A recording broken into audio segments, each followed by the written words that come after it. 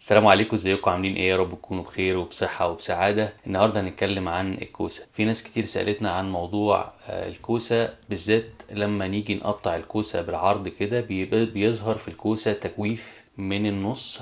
آه، طبعا الكوسة اللي قدامنا دي مفيهاش التجويف دوت إنما الصور هنعرض لكم الصور بيبقى في آه، زي هول أو فجوة في الكور أو آه، نص كوساه من الجوه وفي ناس طبعا بتخاف من الموضوع دوت وتقول إن الكوسة كده مهرمنة ومسرطنة والكلام ال- اللي بينتشر على مواقع التواصل الاجتماعي دوت. فالنهاردة هنعرف ليه التجويف ده بيحصل جوه ثمرة الكوسة. ثمرة الكوسة لما بتنمو على النبات بتبقى بالمنظر دوت وقبل ما تبقى ثمرة بيبقى فيها الزهرة بتاعتها. دي جزء من الزهرة بتاعت الكوسة. طبعا دبلانة شوية بتبقى هنا كده وبتبتدي الثمرة تطول كل شوية.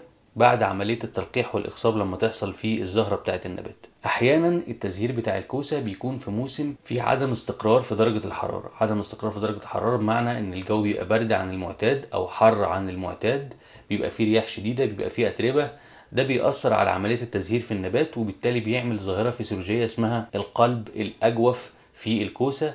وبرضو نفس الحكاية بيحصل في الخيار. أحيانا برضو بنجيب خيار لما نقطعه بالعرض بيحصل نفس المنظر إن هو بيبقى فيه تجويف في نص الثمرة من الداخل. يبقى التجويف اللي بيحصل ده بيحصل نتيجة ظاهرة فسيولوجيه ملهاش علاقة بالهرمونات وملهاش علاقة بالمبيدات وبالتالي نقدر نتناول ثمار الكوسة والخيار اللي فيهم التجويف من جوه دوت مفيش أي داعي للقلق من استهلاك الثمار اللي فيها الظاهره دي لأن زي ما قلنا هي ظاهرة فسيولوجيه من التقلبات الجوية اللي بتحصل للنبات أثناء عملية التزهير. بس بالنسبة للخيار لو إحنا بنشتري خيار بغرض التخليل لو لقينا التجويف اللي فيه دوت الثمرة هتتهري بسهولة لأن ال ال الكور اللي جوه دوت بيبقى فاضي فالمحلول الملحي بتاع التخليل بيدخل جوه قلب الخيارة وبيخليها تتهري بسرعة وبالتالي ما بتبقاش ظريفة في التخليل.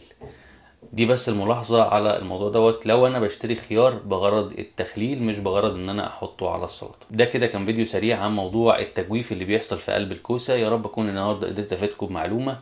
لو حسيت إن الفيديو ممكن يفيد حد غيرك يا ريت تشارك الفيديو. كمان ما تنساش like الفيديو واشتراك القناة. وإلى اللقاء إن شاء الله في حلقات قادمة. والسلام عليكم ورحمة الله وبركاته.